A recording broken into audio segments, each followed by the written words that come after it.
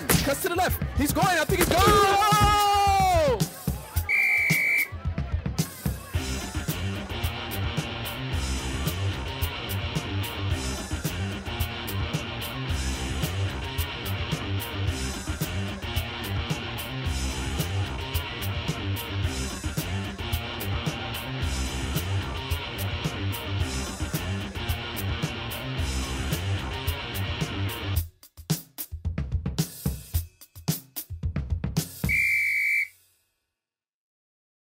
Hi, welcome to Rant and Rave on IcyColorLive.tv.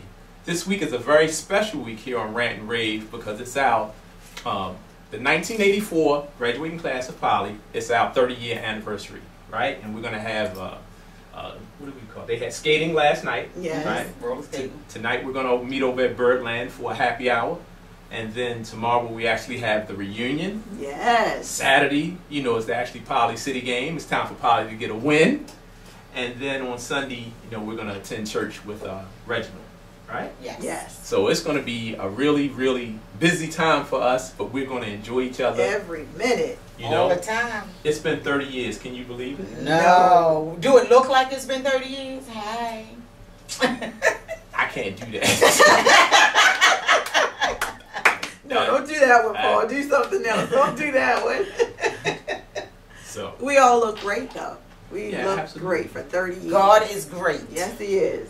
and you know, um, you know, we're going to have a good time uh, with our 30 year reunion. It's going to be so good to see so many people. Yes. that you know I haven't seen because I, I really I hadn't In years. participated, you know, because as most of you that are close to me know that I went to Poly for three years and then went to Forest Park for one year. So I tend to I you know I relate and my friends all were from Poly. My real Mhm. close friends. I made a few friends at Forest Park, but my close friends, lifelong friends, lifelong friends have come from Poly. And so I'm just really looking forward to it, seeing all the people Yes. having fun, Yes. enjoying it, tripping, Yes. you know, talking about all the crazy stuff we used to do. they used to do. Mm. They. I have a halo around here. She's I have talking a on the side of her neck. Exactly. I mean, you will see the pictures. I promise. You know, we got a presentation that'll be going up on our site. That um, yeah, Miss Miss Halo back here. Mm-hmm. I'm going to get some pictures of it. Y'all know it. Stay tuned. But we are here for rant and rave, so we're going to talk about the Baltimore Ravens a little bit. Um, hey, we got two road losses. You know, we went from first place to, To last, last place, place. in our division. Yes. Um, losing to Cincinnati and to Pittsburgh in the division has just been hard. Um, but it's not the end of the world. No. Uh, I think you know. I think that you know um, we can get it together. And and like, what are some of the things you think, Theresa? Maybe that you know we need to do to step up and start righting the ship. The, the first thing is our secondary. I sound like a broken record, probably, but this has been something that's been an issue for me for quite some time. When we win as well as when we lose, that's our weakest link right now. Absolutely. That up front, that running game, really, the Steelers could have put up almost maybe 100 points on us. Sure. They tried in that first half. That running game is not going to work with us. Mhm. We are like six with our running defense. Right. We came into Sunday being 19th Right. with our passing defense. It's just open season back there. That's where we've got to put the most into. And after Sunday's game, giving up, you know, giving Ben 340 yards, we dropped to 24. Yeah. Absolutely. That's the wrong direction to be going for the second half of our season. Absolutely. So we're exposed now Mhm. early on, and we've got a long way to go. Like you said, we're not done by any means at all. The Ravens never really done at any point, but that secondary is where we've got to right now, Mhm. not down the road. Right now, we've got to fix starting this week with Tennessee. Well, I think you know the Ravens have started that. You know, in Ozzie we trust. You know, uh, he made some changes this week. Um, sort of like in my fantasy thing, you know, he quotes and there's some, some consequences and repercussions going on from all this, you know, and so, you know, Chykie Brown, I mean, had to go, got cut, you know, and um, you know, we brung in again. We brung in some defensive backs that I've never heard of or whatever. But hey, Chykie Brown was getting burnt like toast. You know what I mean? I He he he was worse than who was it? I I had the problem. with? Cary Williams. He was worse than Cary Williams. yeah, it, yeah, and, You know, it, he you didn't even know he was on the field until he got burned. He didn't contribute. You know what I'm Yeah, saying? There was yeah. nothing that defensively he contributed to. right, He didn't make stops. Didn't intercept the ball. right. He just got burnt, like you said, like toast. Wasn't good in run support. You know. So. no, So anyway, I think you know we're gonna have to really believe in that in Ozzie. We trust in that you know he's gonna be able to bring some people in and um, you know get that secondary together Yes. because um, we definitely we got some tough games ahead.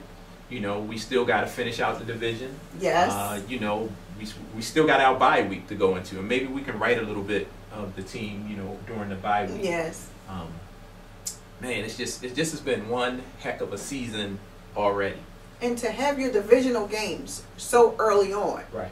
because you know Paul has been giving me kudos, Right. But I get a big doink because I made this vast announcement when the schedule came out in. April Right. that week nine my Ravens would be the AFC North champions. Right. Well, in week nine and we number four. Yeah. we we- at the bottom of the barrel. But those are my babies. Those are my boys, and I'm not giving up on them. I just thought we had a chance to, you know, take this so early on. They had all the Yeah. division games. So now the last division game we had is our last game, Right. which is against the Browns. But they still have to battle out. So doesn't mean that we're going to stay in last place. Right, exactly. The division is really tough. It's uh, one of the first times that everybody in the division has a winning record, Yes. and um, you know, so you know, but everybody can't make the playoffs. No four teams from one division cannot make the That's playoffs. That's right. So you know, we're gonna have to step it up and play some games. You know, there's a around the NFL. There's a lot of people who got to step it up. Uh, word is right now that uh, Roger Goodell, the commissioner, is going to have to step it up in this court case coming up. Well, uh, arbitration hearing uh, for Ray Rice, and with that, Jackie's going to you know tell us a little bit about what's going on there. Well, Goodell's getting ready to play a game, deal or no deal. right, He's getting ready to say, okay, I'm going to deal or I'm going to be, I'm going to have the fur ripped off me. right, right, right. Pretty That's much. it in a nutshell. Pretty much. Um, Wednesday, Mhm. he will be um, Kessler, uh, the lawyer for Ray Yes. Rice, Mhm. is they'll be holding their arbitration to hear his case. And apparently, Goodell and Kessler have met before. They're not friends. Right. And Somebody's Goodell's going to have to friend. either make a deal to let Ray Rice back in the NFL Mhm. or he's going to have to go through arbitration and have Kessler tear him a new one. Oh yeah. And from what I hear, Kessler is nothing to play with. Oh yeah. That's Kessler's going to make him, I mean, he's going to be under oath. Not to say people don't lie under oath, Right. but he's going to be under oath, so he should tell the truth. And he's going to find out, you know, he's going to, Kessler's going to ask him, did you know about the tape? When did you know about the tape? Before you handed down his two game suspension, you know, did you have all the facts? Right. So they're going to, um, it's deal or no deal. Pull those cards. So I think really he should be um opening that suitcase to make a deal. Yeah. Yeah. And then, that- you know, put the whole NFL, the other owners on point because they're his, his employers, right? Right. Exactly. That this is the type that you've left Right. in this position. Mm-hmm. Right. So, you know, in in the hearing, let's say it goes the way that the, the pundits have said, and Ray Rice is reinstated back into the league. Is there a team out there? And I guess I'll guess Theresa. Do you think is there a team out there that probably would like sign a team that you know that really needs a running back that will sign Ray Rice? I can't name. The answer is yes, but to name a specific team, I can't because. Wait a minute. What about a spite team? Who do you who, who do you think the I- spite team would be that you would know, hire? I I think because the first team I think of is uh the Patriots and that Belichick. Mm-hmm. You know, Mm-hmm. I, I see him doing it. Mm-hmm. I do, you know, there was these little rumors on Facebook about the Steelers. The bumblebees. That's what I was gonna say. you said their name before I could say the bumblebee. I, I, I could, I could see them doing it as a, like you say, a pundit to us.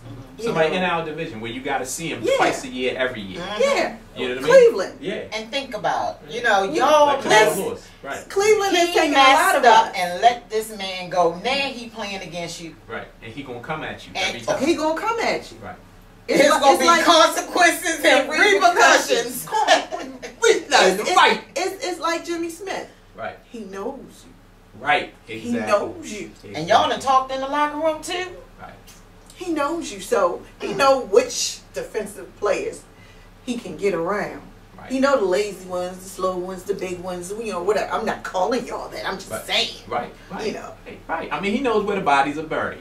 Yeah. You know I mean? Plain and simple. You know. Yes. yep. So, um, with that, then you know what? With that, though, I wish Ray Rice all the Yes. luck Yes. that it takes. I think he definitely. deserves to be uh, reinstated back in the league. I think he deserves to play out his career with a team that With wants a him. team. You Yes. You know, it's nothing like being wanted. You know, um, by a, a city, and and I'm really ashamed of my city yes. of our city and the way that we handled Ray Rice. It was horrible what he did, but forgiveness is always out there for everyone. Um, and, and if his wife could forgive him, her family could forgive him. Again, they're talking about Adrian Peterson. And Adrian Peterson uh, reduced his charge down to a misdemeanor. Mhm. Okay? And so what the word is is that since the state of uh, Texas knocked it down to a misdemeanor, then why should the NFL step in? Well, why should the NFL step in with the Ray Rice case? His, Right. his It's case still got a dismissed. personal conduct right. violation. Yeah. Right. So Period. exactly, Arre- you arrested this man, you indicted him, so yes, he has to go through the same things. Right. Now, you two tell me, what do you think, as far as um, like you said, this city? I'm embarrassed. Mm-hmm. Do you think either of you that if Bisciotti had stood by this man, Mhm. would our city had gone to this extreme? No. No, No. I, I don't think. And that's why I still have my issues with Bisciotti. Right. hmm I do. I, nobody accepts what he did, Right. like you said, but you tossed him out. Yep. You were the one that said, I'll buy back the jersey. He started this whole Right. turmoil thing. yeah, he, Right. he, He was yeah. trying to He appease lit that someone fuse. else. He lit Yes. There was some other entity, group, people, Yes. whatever, that he was trying to uh, appeal to. You know, maybe it was a major sponsor. Maybe it was simply his wife. I don't know, but it Right. was someone uh, that had some real strong influence on Bisciotti that got him started rolling that way. Because looking at Steve Bisciotti, he parties. He has Yes. a great time. He, Yes. he let's just say he's pretty liberal in his moral Yes. conduct. Yeah, That ain't too bad to say. So to say that, you know, that's why he appealed and tried to only get Ray Rice two games. Right. You know what I mean? In the Right. first place, right? So it, it shows where he was. He wasn't thinking, you know, we're going to get this guy out of the league and he's the worst Nope. thing that ever happened. Nope. You know. So, you know, things just didn't go right. And some true character was shown by the Ravens organization, which we all felt, you know, um, at least us on this show, we felt was uh, inappropriate Yes. you know. But you know, we'll we'll get through it. We will get through it. And again, we wish Ray Rice and, and his wife The best. The them very the best. very yes. best. And I hope they win the case. Yep. Yes. And you know, with that, guys, we're gonna have a short week. We thank you for watching Rant and Rave here on ICColorLive.tv. But we about to go party. Happy alumni. We catch y'all next week. Getting it in. All right, peace. 84. Oh, no, no.